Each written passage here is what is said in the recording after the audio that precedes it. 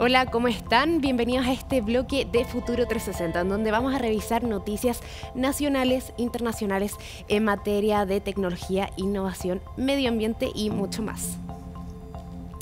Bueno, y se dice que conocemos más sobre el universo que del fondo del océano por lo que es común sorprendernos con nuevos descubrimientos.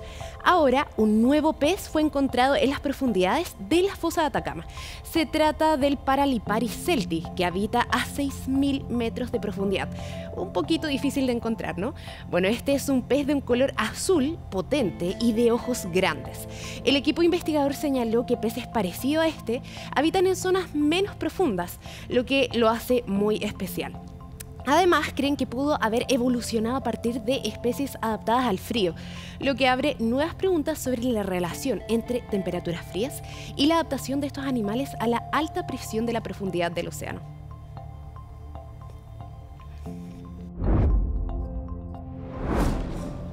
Y nuestro continente ha sido destacado como líder mundial pero de algo de lo que no deberíamos estar orgullosos.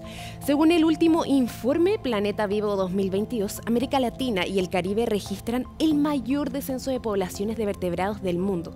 La población de estos animales ha disminuido en un 94% en los últimos 48 años. Son cifras realmente impactantes. Además, este reporte también señala que la mitad de los corales del planeta se han perdido.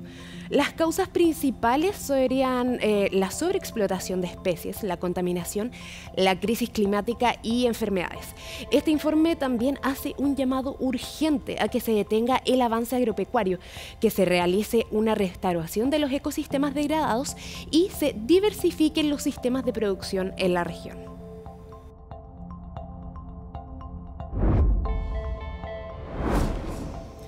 Y todos hemos sentido ansiedad alguna vez pero hay quienes experimentan este sentimiento cuando están con otros.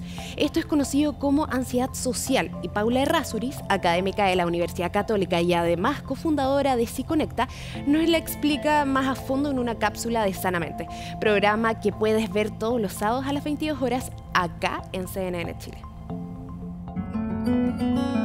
La ansiedad social es la ansiedad que sentimos cuando creemos que estamos siendo evaluados por otras personas es la ansiedad que podemos sentir, por ejemplo, si tenemos que hacer una presentación o si tenemos que hablar con alguien en particular, cuando estamos en espacios públicos. Esa ansiedad, cuando es extrema y nos hace empezar a evitar situaciones sociales, se puede convertir en una fobia social. Y esa ansiedad se muestra en que, por ejemplo, tenemos más palpitaciones en el corazón, sentimos el pecho apretado, sentimos la garganta apretada, sentimos que nos sudan las manos o que el cuerpo está tenso. Y en cuanto a nuestra mente, podemos estar todo el rato pensando que nos están juzgando, habré dicho algo mal, me estaré equivocando, qué vergüenza lo que me está pasando, me van a pelar, van a hablar mal de mí una cosa muy importante es no evitar las situaciones que nos generan ansiedad. ¿Por qué? Porque cuando evitamos una situación que nos genera ansiedad, eso en un comienzo nos hace sentir mejor, pero a la larga nos lleva a reforzar la conducta evitativa y a sentir que la forma de manejar la situación es evitando. Y eso solamente nos va a traer problemas en nuestro día a día. Entonces, aunque sienta ansiedad, lo que tengo que hacer es enfrentar la situación sabiendo que la ansiedad va a llegar a un momento a su pic y luego va a bajar y que la ansiedad es normal, no me va a pasar nada por tener ansiedad. Además es importante saber que la ansiedad en general se percibe más internamente. Aunque yo me sienta muy ansioso, lo más probable es que las otras personas no me perciban así.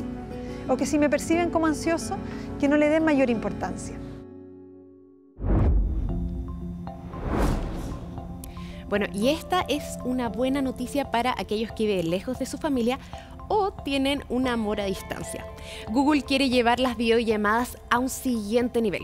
Se trata del proyecto Starline, un nuevo sistema de comunicación en tiempo real que combina imágenes tridimensionales, sensores de profundidad y un sonido envolvente. Todo esto en cabinas que están instaladas en las oficinas de Google, pero ahora también en otras empresas como T-Mobile y WeWork. Según los creadores, algunas de las principales ventajas de este sistema son que permite mantener el contacto visual directo sumado a lo realista que se siente en una conversación, como si uno estuviera a centímetros de la otra persona. Eso sí, por ahora Google no ha revelado si lanzará Starline al mercado masivo, por lo que seguirá en su fase experimental los próximos años.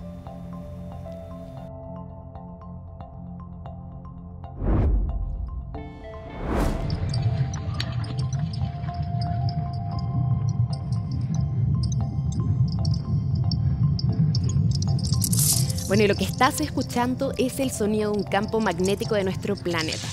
Suena un poco extraño, ¿no? Algo que quizás no nos imaginaríamos, pero esto se logró gracias a científicos que trabajan con el trío de satélites SWARM de la Agencia Espacial Europea.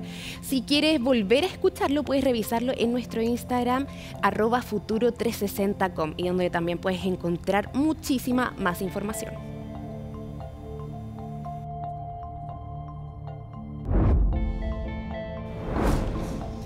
Y si te quedaste con ganas de más eh, y poder saber también del mundo de la ciencia, puedes revisar todas nuestras redes sociales, ya revisamos algunas, y también nuestra página web de futuro360.com. Esto si es que quizás viste alguna nota que te gustó de Futuro 360, puedes volver a revivirla. Nos vemos.